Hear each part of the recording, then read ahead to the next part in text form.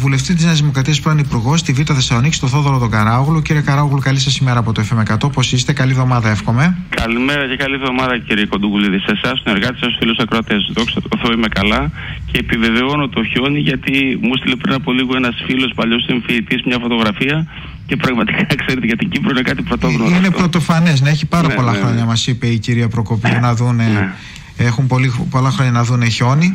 Ακριβώς. Λοιπόν, ε, είδαν άσπρη μέρα. Εμείς πότε θα δούμε άσπρη μέρα, αλλά πρωτού πάμε στα δικά μας, δεν εννοώ καιρικά, εννοώ στα οικονομικά μας. Θέλω ένα πρώτο σχόλιο να κάνετε για το πώς εξελίσσεται η εισβολή και αν βλέπετε έτσι μια ελπίδα για, για να αποκλιμακωθεί λίγο η ένταση. Καταρχήν να πω ότι πιστεύω ότι όταν ξεκινούσε η εισβολή αυτή, 24 Φεβρουαρίου ήταν η μέρα Πέμπτη, ε, όλοι και η διεθνής κοινότητα αλλά και ο πρόεδρος της Ρωσίας, ο Πούτιν, πιστεύω ότι εκτιμούσε ότι σε μια εβδομάδα θα έχει τελειώσει η ιστορία θα έχει καταλάβει όλη την Ουκρανία και δεν θα υπάρχει κανένα πρόβλημα. Ε, έχουμε λοιπόν την ευχάριστη έκπληξη να δούμε ότι ένας λαός όταν παλεύει για τη σωτηρία της πατρίδας του, όταν παλεύει υπερβομών και αιστιών, πραγματικά αποδεικνύεται πολύ καλύτερο των περιστάσεων, πραγματικά πετυχαίνει σημαντικά αποτελέσματα και αξίζει ένα πολύ μεγάλο μπράβο στους Ουκρανούς, οι οποίοι πραγματικά δίνουν μια πολύ σκληρή μάχη, αλλά μάχη με αυταπάρνηση, με πείσμα, με θέληση να ανταπεξέλθουν στην, στην μάχη και στον πόλεμο αυτό και κοντά σε ένα μεγαθύριο, σε μια υπερδύναμη του πλανήτη, κατορθώνουν και αντιστέκονται ε, 20 μέρες περίπου μετά. Είναι πάρα πολύ σημαντικό αυτό. Ε, το δεύτερο είναι ότι είναι προφανές ότι βλέποντας την αντίδραση αυτή ο πρόεδρος Πούτιν και βλέποντας ότι αρχίζει να βαραίνει το κλίμα και στην ίδια τη χώρα αρχίζει να σκέφτεται και κάποια άλλα πράγματα. Βλέπουμε στο διπλωματικό πεδίο ότι γίνονται κινήσεις και ότι κάποια ζητήματα τα οποία ήταν, υπήρχε μια διαφορετική άποψη στη Ρωσία επανεκτιμώνται. Δηλαδή, ο πρόεδρος Πούτιν δεν ήθελε να ακούσει για τον κύριο Ζελένσκι, τον πρόεδρο της Ουκρανίας που θεωρούσε γελοτοπιό, καραγκιόζη κτλ. Υποτιμητικά καταφερόταν εναντίον του πάντοτε. Τώρα λέω ότι δεν, δεν αρνείται το θέμα της επικοινωνίας και της επαφής με τον πρόεδρο Ζελέσκι ούτε ε, κινείται με τη λογική να αλλάξει την ηγεσία της Ουκρανίας. Απλά βάζει κάποια άλλα ζητήματα, αποστρατικοποίηση, όχι ένταξη στο ΝΑΤΟ, ουδέτερη Ουκρανία κτλ. Θεωρώ ότι μπροστά στην αντίδραση του Ουκρανικού στρατού και του Ουκρανικού λαού γενικότερα έχει αναθεωρήσει τις απόψεις του. Εκτιμώ ότι σύντομα θα έχουμε καρποφόρες ειρηνευτικές συνομιλίες και θα τελειώσει κάπου το κακό, το πολεμικό εννοώ. Έτσι, είναι προφανές ότι όσο το φτάσουμε στο σημείο να υπάρχει μια συμφωνία θα γίνουν προσπάθειες εκατέρωθεν να πάρουν τις καλύτερες θέσεις στο πεδίο της μάχης γιατί διαφορετικά θα διαπραγματευτεί για παράδειγμα η Ρωσία αν έχει καταλάβει ξέρω εγώ την ανατολική πλευρά του Δνήπερου που την ενδιαφέρει αν έχει καταλάβει την Οδυσσό αν έχει αποκλείσει εντελώς την Ουκρανία από τη θάλασσα διαφορετικά αν δεν έχει πετύχει τους στόχους της ε, αυτούς.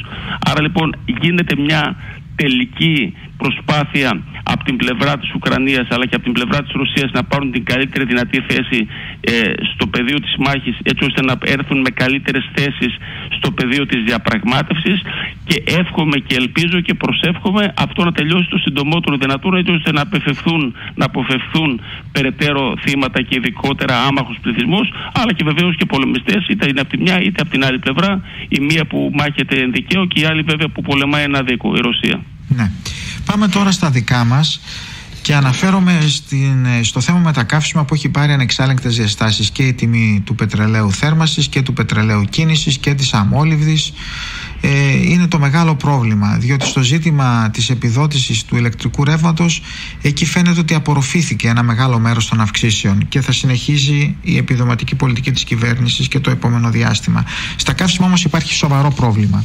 Ναι. Θέλω να μου πείτε εάν συμμερίζεστε το άσο γράφει σήμερα ο κύριος Κέρτσος, ο Υπουργός Επικρατείας που λέει ότι η μείωση του ειδικού φόρου κατανάλωσης στα καύσιμα δεν είναι ούτε ρεαλιστική ούτε δίκαιη και λέει δεν είναι ρεαλιστική διότι σύμφωνα με τον κύριο Σκέρτσο ε, το, ε, το, τα έσοδα από τον ειδικό φόρο κατανάλωση και το ΦΠΑ στα καύσιμα αποτελούν το 33% των συνολικών εσόδων ΦΠΑ και περίπου το 12% των συνολικών φορολογικών εσόδων του κρατικού προπολογισμού και υποστηρίζει ότι ο αυτό για το ρεαλιστικά ότι δεν μπορεί να γίνει κάτι τέτοιο γιατί θα υποστούν πολύ μεγάλη ε, μείωση τα έσοδα και δεν θα μπορεί η κυβέρνηση να κάνει άλλες μειώσεις. Και όσον αφορά το δίκαιη λέει ότι ως οριζόντιο μέτρο θα ωφελήσει περισσότερο τους πλουσιότερους που καταναλώνουν περισσότερη βενζίνη από τους φτωχότερους. Δηλαδή ένας άνθρωπος είστε σε μια εκλογική περιφέρεια που είναι πολύ μεγάλη έτσι, σε επίπεδο χωρικής έκτασης. Ένας άνθρωπος που ξεκινά από το Λαγκαδά έτσι, και δουλεύει στη Θεσσαλονίκη και επειδή δεν μπορεί να ταλαιπωρείται με το λεωφορείο παίρνει το αυτοκίνητό του θεωρείται πιο πλούσιος από έναν άνθρωπο ο οποίος δεν καταναλώνει βενζίνη. Καταλαβαίνετε πως το λέω έτσι; Ναι, ναι, ναι, κατανοητό. Ε, Καταρχήν ε, να πω ότι πιστεύω ότι υπάρχουν οικονομικές επιπτώσεις από τον πόλεμο αυτό Ρωσίας-Ουκρανίας όχι μόνο στη Ρωσία που υπέστη τις κυρώσεις από την πλευρά της Ευρωπαϊκής Ένωσης, της Αμερικής κτλ. και στην Ουκρανία που βεβαίως δέχεται τον, σε βάρος στον πόλεμο αλλά και σε όλη την Ευρώπη και σε όλη την Ιφίλιο. Άρα λοιπόν προφανέστατα υπάρχουν οικονομικές επιπτώσεις και στη χώρα μας. Αυτό βέβαια δεν σημαίνει ότι δεν είχαν ξεκινήσει πληθωριστικές πιέσεις και δεν υπήρχε το μεγάλο πρόβλημα που λέγεται ακρίβεια από πιο πριν από το δεύτερο εξάμεινο του 2021 είχαμε αρχίσει να βλέπουμε ε, πληθωριστικές ε, τάσεις και τιμαριθμικές αναπροσαρμογές βέβαια σε λογικά επίπεδα και όχι στα επίπεδα που έχουμε τώρα και μετά ειδικότερα τον πόλεμο. Ε, άρα λοιπόν είναι ένα ζήτημα πάρα πολύ σοβαρό που πρέπει να το αντιμετωπίσουμε. Αλλά πρέπει να το αντιμετωπίσουμε με, όπως αρμόζει το πρόβλημα, με σοβαρότητα, ε, με τη λογική να βοηθήσουμε τους πολίτες που πραγματικά δυσκολεύονται και αυτό είναι ένα ζήτημα που πρέπει να το αναγνωρίζουμε και που η δυσκολία τους έχει συγκεκριμένο ονοματεπώνυμο. Δεν είναι γενικός και αορίστος, αλλά ξεκινώντας από την ενέργεια που πραγματικά είναι πολύ μεγάλη η τιμή της, ε, του κόστους της ηλεκτρικής ενέργειας, είτε είναι από το ΔΔΕ είτε είναι από ιδιώτες παρόχους, είναι πραγματικά πολύ μεγάλο ε, η τιμή του ηλεκτρικού ρεύματος, συνεχίζοντας τη θέρμαση, φυσικό αέριο, ε, πετρέλαιο και βεβαίως πηγαίνοντας στα καύσιμα για την μετακίνηση, όπως επίσης, όπως επίσης και στα είδη διατροφής και στα είδη ένδυσης υπόδεσης γενικότερα αλλά και είναι πιο χαμηλότερο το πρόβλημα.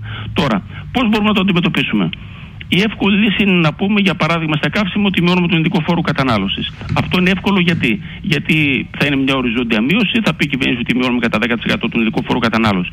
Οι επιπτώσεις όμως που θα υπάρχουν στον προπολογισμό θα είναι τεράστιες.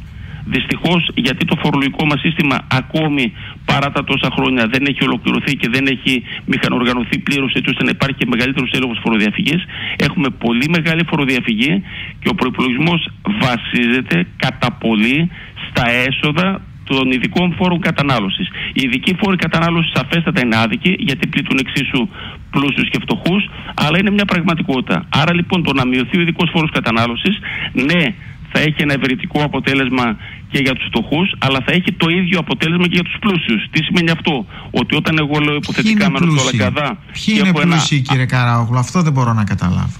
Ένας άνθρωπος ο οποίος παίρνει, έχει μια τετραμιλή οικογένεια και παίρνει 1500 ευρώ, που θεωρείται ένας πολύ ναι, ικανοποιητικός ναι, ναι, μισθό σήμερα. Ναι. Και πρέπει να δίνει για τις μετακινήσεις του τα 300 ευρώ τα οποία έχουν γίνει 400 με τις αυξήσεις. Ναι, Μπορεί να ζήσει, είναι πλούσιος αυτός ο άνθρωπος επειδή έχει ένα αυτοκίνητο και τον χρησιμοποιεί για τη μετακίνησή του. Αλλά αυτός ο οποίος έχει ένα, ε, ένα όρχο οχημάτων, έχει μια Μαζεράτη, έχει μια Φεράρι ε, και έχει ένα Πόρσε. Είναι πολύ λίγοι. Ναι, ναι, αλλά θα έχει την ίδια έκπτωση με τον Φουκαρά, ο οποίος έχει το μεροκάμα, το παλεύει για το μεροκάμα έχει την ίδια έκπτωση και, και στην ΕΔΕΗ. λέτε. Αυτοί οι ίδιοι άνθρωποι έχουν την ίδια έκπτωση και στη ΔΕΗ και στο αέριο, όπου δεν υπάρχουν εισοδηματικά κριτήρια, ούτε υπάρχουν. Ε, ε υπάρχουν υπάρχει η μάκωση της έκπτωσης.